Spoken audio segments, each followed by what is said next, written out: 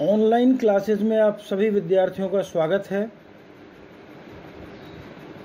BA part second के लिए आज की क्लास है। विषय है भूगोल प्रायोगिक और मैं डॉक्टर वेद प्रकाश यादव। आज के टॉपिक द्विविमारेख और द्विविमारेख में भी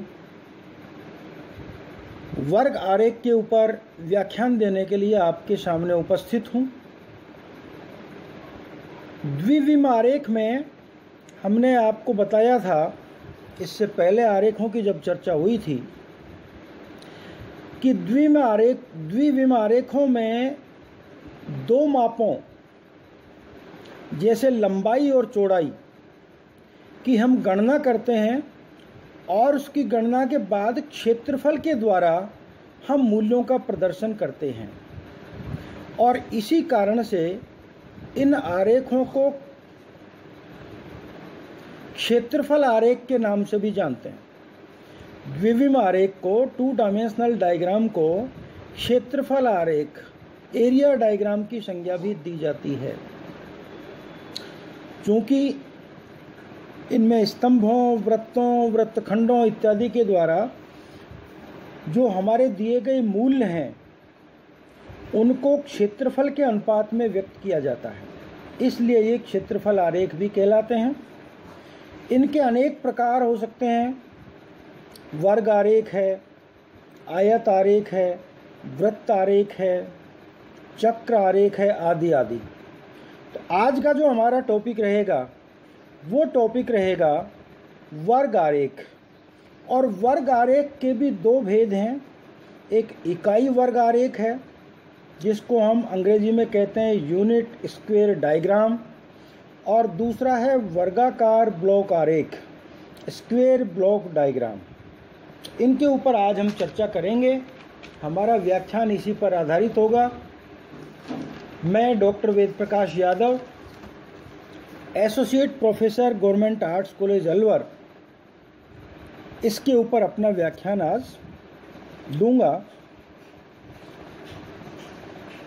एक भी आरेख में भी आपने देखा होगा कि हमने स्तंभ लिए थे, लेकिन वहाँ स्तंभों की जो मोटाई थी, उसका उद्देश्य केवल आरेख को आकर्षक बनाना होता था। वहाँ दिए गए मूल्यों से उस स्तंभ की मोटाई का कोई तालमेल नहीं था। हम मोटाई अपनी सुविधा से, अपनी इच्छानुसार जो आकर्षक लगे, उस साइज़ में हम लिया करते थे और तमाम स्तंभों की मोटाई समान होती थी। लेकिन यहाँ हम एक बार फिर आपको बता रहे हैं कि लंबाई और चौड़ाई दोनों एक निश्चित अनुपात में ली जाती हैं, मापक के अनुसार ली जाती हैं और उनका जो आकार है, वो दिए गए आंकड़ों और जो आपके पास सरफेस है, जैसे कागज़ ड्राइंग सीट तो उसकी साइज़ को ध्यान में रखते हुए लेना होता है। तो अब हम चर्चा करते हैं इकाई वर्ग आरेख की यूनिट स्पेयर डायग्राम इसमें दिए हुए मूल्य हैं, दिए हुए मूल्यों को हम ध्यान में रखते हुए एक उचित मापनी मान लेते हैं और उचित मापनी लेकर के दिए गए मूल्यों के बराबर हम इकाई वर्गों की संख्या ज्ञात करते हैं। क्योंकि इसमें प्रत्येक जो तत्व दिया गया है, उस तत्व से संबंधित जो हमने वर्गों की संख्या निकाली है, उतने ही वर्ग बनाने होते हैं। यूनिट स्क्वेयर डायग्राम इसका नाम इसलिए स्केल के अनुसार इसकी यूनिट्स की संख्या निकाली जाती है और उतनी ही यूनिट हम डायग्राम में बनाते हैं। और इसके पश्चात ये जो समान आकार वाले वर्गों की संख्या जब आ गई है तो इन वर्गों की उस संख्या को एक निश्चित अंतराल पर हम पास पास एक सीध में समान दूरी को रखते हुए, समान अंतर को रखते हुए बना देते हैं। वर्ग बनाने की विधि आप जानते हैं। वर्ग में चारों भुजाएँ बराबर होती हैं। वर्ग के चारों कोण समकोण होते हैं। इस बात का विशेष ध्यान रखना होता है, यदि आपकी कहीं भुजा में लंबाई में, चौड़ाई में अंतर आ गया है, यदि आपके वर्ग को बनाने में कोण में अंतर आ गया है 90 डिग्री से कम या अधिक आपने कोण बना दिया है तो फिर आपका जो ये वर्ग आरेख है वो गलत हो जाएगा। वो वर्ग बन ही नहीं सकता जब तक कि वर्ग के ये गुण उसमें मौजूद ना हो। तो इस बात को आपको विशेष ध्यान रखना होता है कि वर्ग की चारों भुजाएँ बराबर हों और चारों कोण समकोण बने, तभी वर्ग ठीक बन पाएगा। इस आरेख का सबसे बड़ा गुण यह है कि इसमें वर्गों की संख्या को गिन लेने मात्र से हम आंकड़ों का जो विस्तार है, किस मद में कितना आंकड़ा दिया है वो सब जान लेते हैं। वर्गों की संख्या गिन करके जो प्रदर्शित आंकड़े हैं, उनका मान हम सरलतापूर्वक निकाल सकते हैं। ये इस इकाई वर्ग आरेख की सबसे बड़ी विशेषता है। एक उदाहरण हम जैसे लेते हैं। मान लीजिए कि किसी देश में अनाजों का उत्पादन वर्ष 2019-2020 में इस प्रकार से रहा, जैसे अनाज ले लिए हमने, गेहूँ, ज्वार, चावल, मक्का, जौ, बाजरा। और उनका उत्पादन हमने मिलियन टन में दिया हुआ है। वो उत्पादन हमने लिख लिया। तो जैसे गेहूँ का उत्पादन मान लीजिए पैंतीस मिलियन टन है, चावल का मान लीजिए तिरपन दशमलव पाँच मिलियन टन ज्वार का मान लीजिए ग्यारह दशमलव पाँच मिलियन टन। बाजरा पाँच दशमलव पाँच मिलियन टन। मक्का छः दशमलव पाँच मिलियन टन और जो दो मिलियन टन है।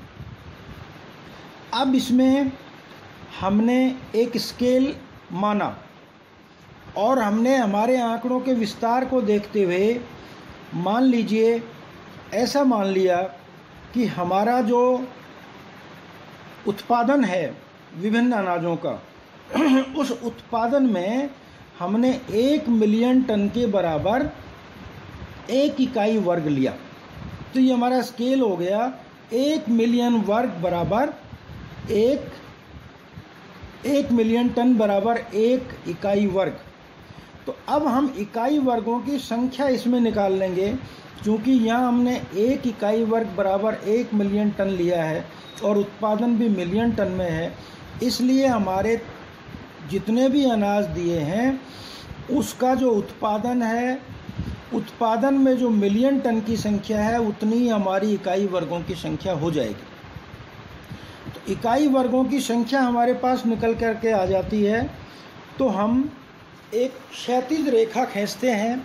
और क्षैतिज रेखा के ऊपर हम देखते हैं कि हम जो वर्ग बना रहे हैं, उन वर्गों की संख्या कितनी आएगी, उन वर्गों की संख्या के आधार पर और उनकी मोटाई जो हमने निश्चित की है। मान लीजिए, हम एक इकाई वर्ग के लिए जो वर्ग की भुजा है, उसको हम दशमलव पाँच सेंटीमीटर रखते हैं, आधा सेंटीमीटर रखते हैं। तो हमें देखना है कि आधा आधा सेंटीमीटर के हिसाब से हमारा मान लीजिए चावल का उत्पादन इसमें सर्वाधिक है। तो चावल के उत्पादन के आधार पर उसमें कितने वर्ग बनेंगे? तिरपन दशमलव पाँच। तो तिरपन दशमलव पाँच के वर्गों को हम इस तरह से एडजस्ट कर सकते हैं।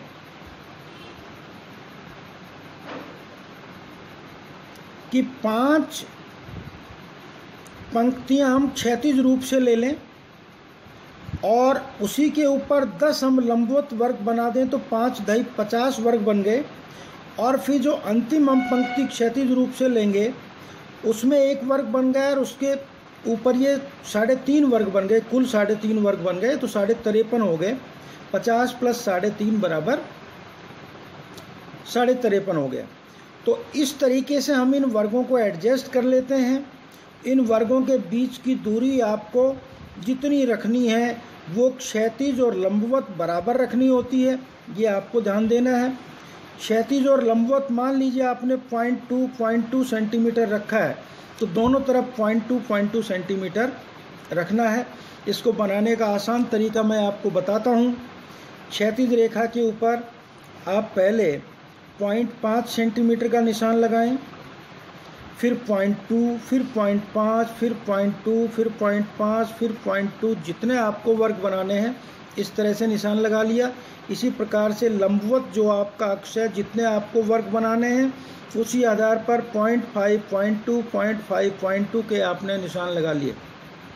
इसी तरीके से आपने जो आपके क्षैतिज अक्ष के ऊपर देखिए टोटल आपके वर्गों की संख्या कितनी बनेगी वो निशान लगा लें, लंबवत अक्ष पर भी लगा लें और फिर उनको जो आप ने निशान लगाए हैं, उनके आधार पर एक वर्गों का जाल बना लें। वर्गों का जाल बनाने के बाद आप आवश्यकता अनुसार जो वर्ग हैं, उनको रख लें और बाकी वर्गों को जो एक्स्ट्रा कहीं बन गए हैं, उनको मिटा दें। एक तरीका तो ये है। दूसरा तरीका यह है कि आप इंडिविजुअल एक एक इकाई वर्ग बनाएँ और इकाई वर्ग बना करके उनको इस प्रकार से एडजस्ट करें कि वो एक संबंधित अनाज को प्रदर्शित करें। और ऊपर इसका आप सीरियल लिख दें। हिंदी में लिखना चाहें तो आप लिख दें, अनाजों का उत्पादन, उसका वर्ष लिख दें। जिस क्षेत्र का उत्पादन है, वो उत्पादन से संबंधित क्षेत्र लिख दें। नीचे लिख दें, आरेख का नाम, जैसे इकाई वर्ग आरेख। और इंग्लिश में यदि आप लिख रहे हैं तो आप लिख दें प्रोडक्शन ऑफ़ सीरियल्स स्टेट का नाम, मान लीजिए इंडिया का था तो इन इंडिया और ईयर उसको ब्रैकेट में दे दें और नीचे फिर आप आरेख का नाम लिख दें यूनिट स्क्वायर डायग्राम इस तरीके से ये आपका यूनिट स्क्वायर डायग्राम बन जाएगा। यूनिट स्क्वायर डायग्राम के बनने के बाद आप उनमें ब्लैक कलर कर सकते हैं, सभी स्क्वेयर्स में, सभी जो यूनिट स्क्वेयर हैं उनमें आकर्षक लगेगा विदाउट कलर अच्छा नहीं लगता है, लेकिन कलर इसमें जोग्राफ़ी में हम विशेष रूप से ये ध्यान रखते हैं कि हम ब्लैक कलर का इस्तेमाल ही ब्लैक इंक का इस्तेमाल ही ज़्यादा करते हैं। तो आप ब्लैक इंक इसमें कर दें, लेकिन इंक करते समय एक विशेष ध्यान रखने की आवश्यकता है। इंक चूँकि ये छोटे छोटे अनेक वर्ग होते हैं इन इकाई वर्गों में इंक करते समय यह विशेष ध्यान रखें कि आपकी शाही, आपकी जो आपका जो कलर है, वो वर्ग की बाउंड्री के भीतर तो कंप्लीट उसको ढक दे मतलब पूरा रंग आ जाए बाउंड्री के भीतर, लेकिन बाहर कलर जरा भी ना जाए। वरना तो वर्ग की जो भुजा है, वो आकार उसका बदल जाएगा, वर्ग की शेप बदल जाएगी और इससे आपका जो इकाई वर्ग आरेख है, वो आरेख की गुणवत्ता बिगड़ जाएगी। तो ये बात आप ध्यान रखें। एक चीज़ आपको और ध्यान रखनी है, जब आरेख बन गया है तो आरेख के कहीं भी जहाँ जगह आपको मिलती है, वहाँ आप जो स्केल लिया है, उस स्केल के आकार का एक वर्ग, जितने आपने वर्ग बनाए हैं, वैसा ही एक वर्ग अलग से बना करके और उस वर्ग के साथ जितना आपने आंकड़ा लिया है, जैसे इस उदाहरण में हमने लिया था एक मिलियन टन तो आप उस वर्ग को अलग से बना दें और उसके साथ में लिख दें एक मिलियन टन। अंग्रेज़ी में लिखते हैं तो लिख दें वन मिलियन टन। इस तरह से ये आपका इकाई वर्ग आरेख तैयार हो गया है। आने वाले वीडियो में हम दूसरा वर्गाकार आरेख लेंगे। जिसका नाम होगा वर्गाकार ब्लॉक आरेख स्क्वेयर ब्लॉक डायग्राम। तो डियर स्टूडेंट्स